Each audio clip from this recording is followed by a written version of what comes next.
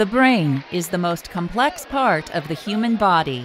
This three pound organ is the seat of intelligence, database of memories, interpreter of the senses, and the director of all movement.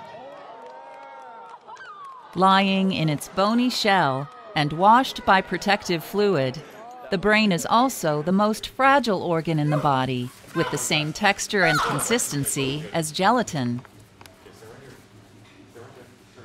Within the brain are over 100 billion nerve cells, called neurons, sending electrical and chemical signals to and from the body.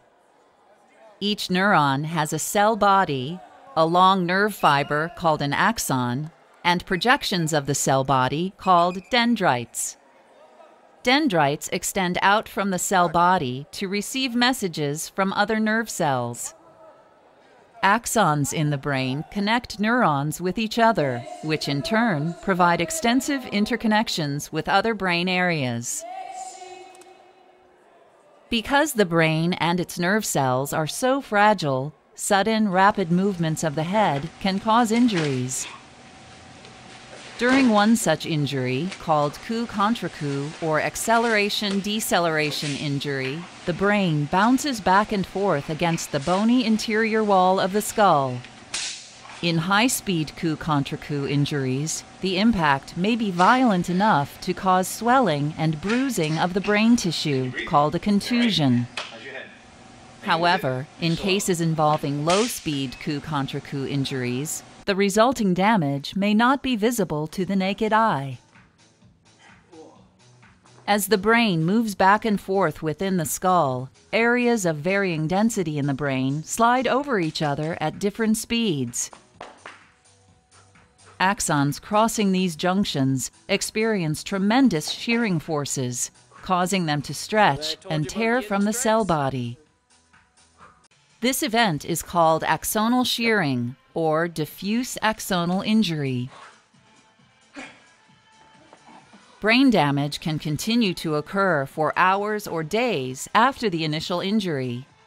Damage to the axons can lead to a breakdown of communication among neurons in the brain. The torn axons quickly degenerate, releasing toxic levels of chemicals called neurotransmitters into the extracellular space. In turn, many of the surrounding neurons begin to die over the next 24 to 48 hours, worsening the initial effects of the injury.